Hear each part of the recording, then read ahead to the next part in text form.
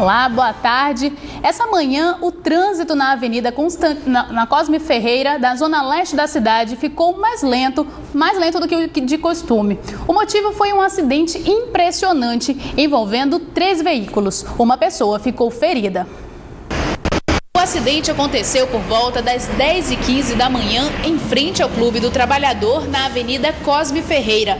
As câmeras de segurança do CIOPS registraram toda a ação. Nas imagens, é possível ver uma picape vindo no sentido bairro-centro em alta velocidade. O veículo tenta desviar de um outro carro que faz o retorno e acaba perdendo o controle. Na manobra, a picape sobe o canteiro central e atinge um veículo que seguia na direção contrária. Os carros ficaram sobrepostos e um terceiro também acabou colidindo. Uma pessoa ficou ferida e foi encaminhada para o hospital e pronto-socorro João Lúcio. Os outros envolvidos passaram por uma avaliação médica e foram liberados. O trânsito na avenida ficou comprometido por várias horas, mesmo depois que os carros foram retirados da via. Em outro acidente, e em outro acidente, também esta manhã, oito pessoas ficaram feridas após uma colisão de uma carreta e um ônibus na Avenida Constantino Neri, nas proximidades da Arena da Amazônia, na zona oeste da capital. Três vítimas sofreram traumatismo craniano e foram encaminhadas para o hospital e pronto-socorro João Lúcio, na zona leste da cidade. As outras cinco pessoas com ferimentos leves foram encaminhadas para o serviço de pronto atendimento do SPA, nas proximidades de onde ocorreu o acidente. E um acidente envolvendo uma embarcação no município de Barcelos, que fica a 399 quilômetros de Manaus, deixou 26 pessoas feridas na noite desta terça-feira após a colisão de um banco de areia. O, o, barco vinha em direção à capital. Os feridos foram encaminhados para o Hospital Geral do município com escoriações leves. 16 pacientes já foram liberados e três vieram para Manaus, onde devem passar por exames neurológicos. E durante toda a manhã, funcionários da Superintendência da Zona Franca de Manaus fizeram uma manifestação. A categoria reivindica melhores condições de trabalho, o que já teria sido discutido com a diretoria da Suframa. Café da manhã para reforçar o movimento. Seis meses após a última greve de 47 dias dos servidores da Superintendência da Zona Franca de Manaus, que afetou a indústria e o comércio, a categoria sinaliza mais uma vez paralisar as atividades por tempo indeterminado. Segundo o sindicato, a manifestação de advertência realizada esta manhã é uma consequência do descumprimento de acordos firmados em negociação entre os servidores da Suframa e o governo federal. Nós fizemos uma greve no começo do ano e dessa greve nós firmamos três acordos com o governo federal. Um dos acordos era o pagamento das horas, nós precisávamos pagar as horas que ficamos parados. O outro acordo era sobre infraestrutura da Suframa e o terceiro era sobre o plano de carreiras da Suframa. Desses três acordos, apenas o acordo dos servidores, ou seja, que os servidores teriam que pagar seu, as suas horas paradas, foi cumprido. Os outros dois acordos não foram cumpridos. Durante a manhã de hoje, 95% dos servidores cruzaram os braços. Apenas o setor de movimentação processual e despachos internos funcionou nesta quarta-feira. A nova mobilização foi aprovada em assembleia pela categoria dia 17 de outubro. Entre as principais reivindicações estão a melhoria salarial, a criação do plano de carreiras e a reestruturação da autarquia.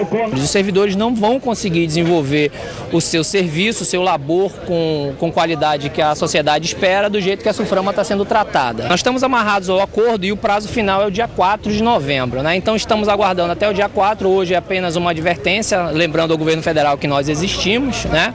É, e dia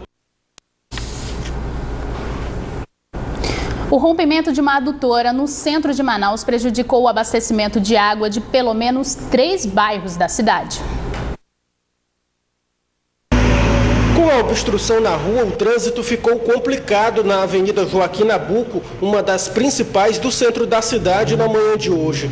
O vazamento na rede de distribuição de água também prejudicou o abastecimento no centro, além dos bairros Aparecida, Chapada, Presidente Vargas e adjacências nesta quarta-feira.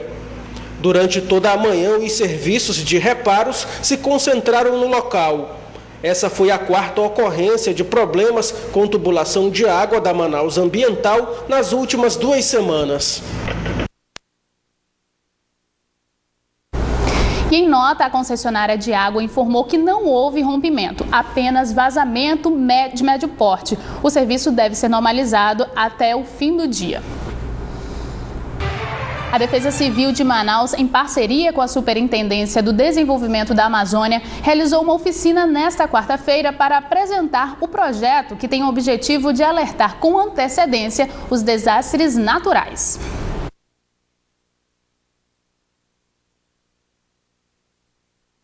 Oficina realizada na Assembleia Legislativa do Amazonas reuniu agentes da Defesa Civil, representantes do Instituto Nacional de Meteorologia e do Serviço Geológico do Brasil. A proposta foi divulgar um projeto que utiliza informações dos boletins de monitoramento hidroclimático para prever desastres em comunidades que vivem próximos dos rios. O principal produto nosso aqui é a previsão hidrológica. Então a gente faz a previsão hidrológica baseada em modelos estatísticos é, modelos estatísticos, modelos simples, é, é, que a metodologia que a gente usa é, é, é a, a, correlação multivariada. É, baseado nessas informações, a gente faz o um modelo de curto prazo, que são sete dias de antecedência. Para o diretor operacional da Defesa Civil, o acesso a esses dados vai possibilitar um atendimento mais rápido e eficaz às comunidades atingidas.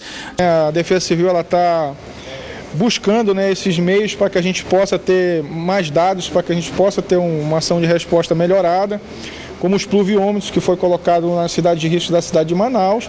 Então, com esses dados, a gente consegue fazer um planejamento mais adequado. De acordo com o superintendente do Serviço Geológico do Brasil, o projeto vai trazer benefícios para a capital, mas principalmente para o interior do estado. E a gente pretende agora avançar, não só delimitando as áreas de risco de Manaus, mas também para todo o estado do Amazonas. Agora é hora da previsão do tempo. Confira como vai ficar o clima no Amazonas nesta quinta-feira. Os detalhes no mapa.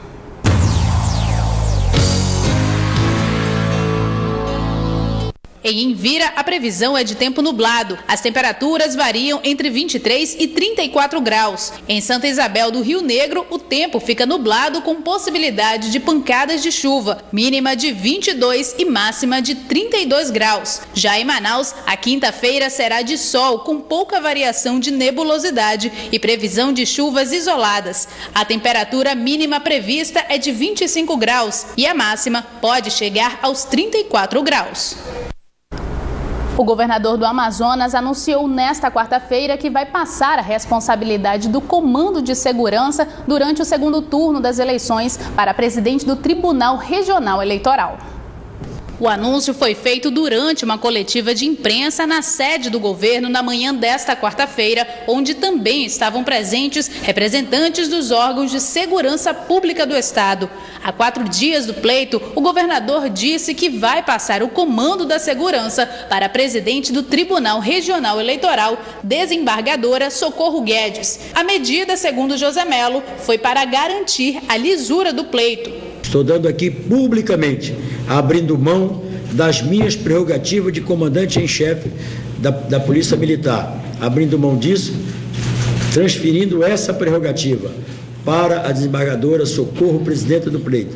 Durante a coletiva também foi divulgado o esquema de segurança pública para o dia da eleição, que deve seguir o mesmo planejamento executado no primeiro turno, que contou com um efetivo de 3.800 homens da Polícia Civil e Militar. Para o secretário de Segurança Pública do Amazonas, a passagem do comando das Forças de Segurança do Estado para presidente do Tribunal Regional Eleitoral não modifica a atuação das polícias.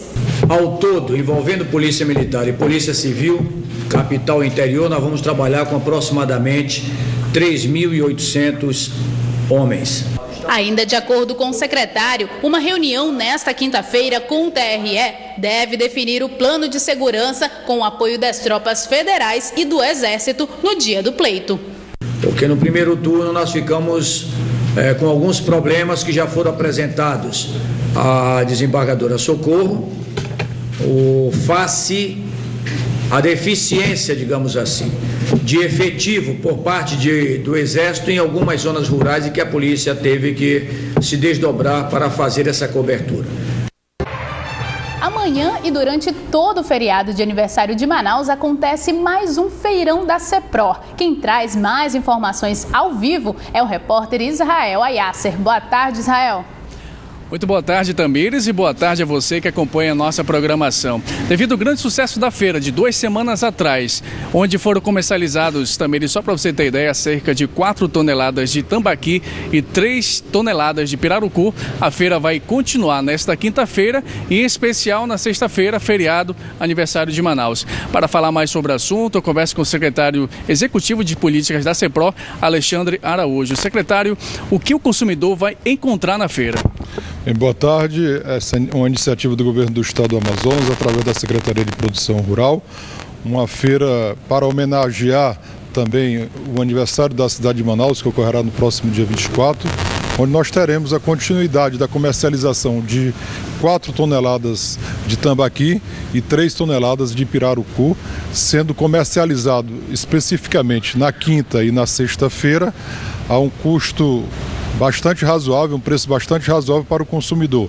O tambaqui estará sendo vendido a R$ 7,00 o quilo e o pirarucu a apenas R$ 15,00 o quilo, ou seja, aquele pirarucu fresco. Secretário, onde vai ser a feira e o horário de funcionamento?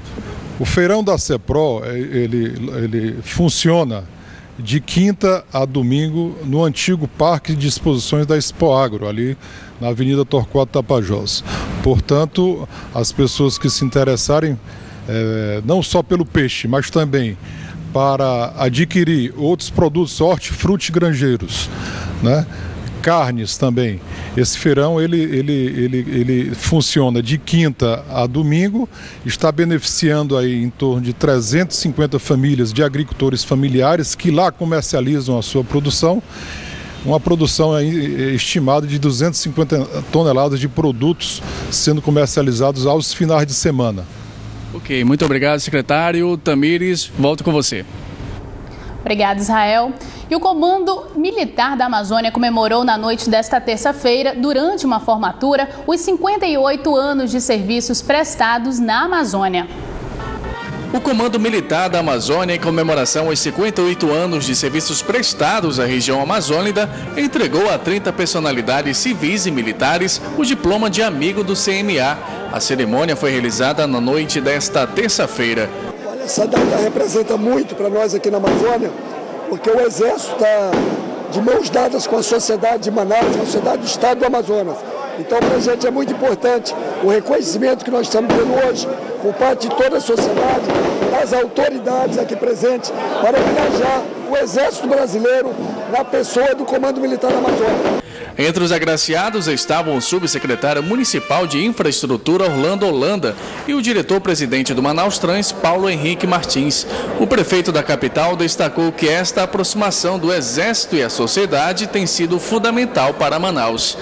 Aqui nós temos a principal, a, a principal preocupação eh, estratégica do país. E é muito bom vê-los nesse nível de entrosamento que eles têm, inclusive com a nossa prefeitura manter a saúde, não basta apenas cuidar da alimentação. A prática de atividades físicas também é recomendada pelos médicos.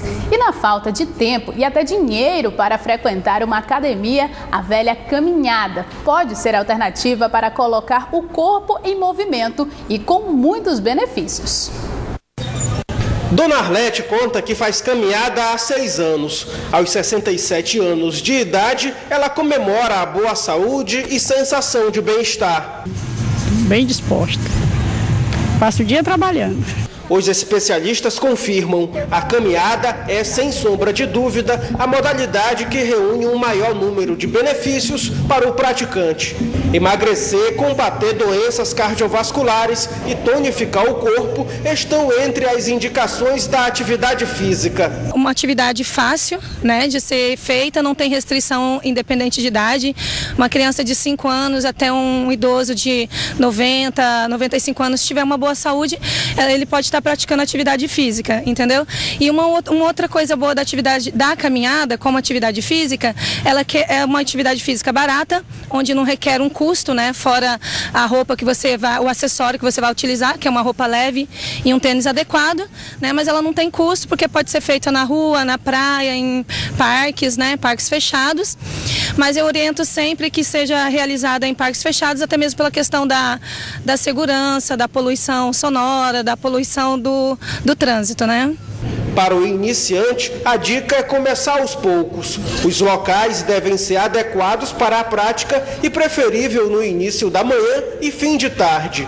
O alongamento e a alimentação antes também são indispensáveis. Começa a caminhar devagarinho, né? E conforme você for ganhando uma resistência cardiorrespiratória maior, você pode ir puxando, acelerando o passo e aí iniciar um trote e futuramente uma corrida. É importante. Boa tarde para você.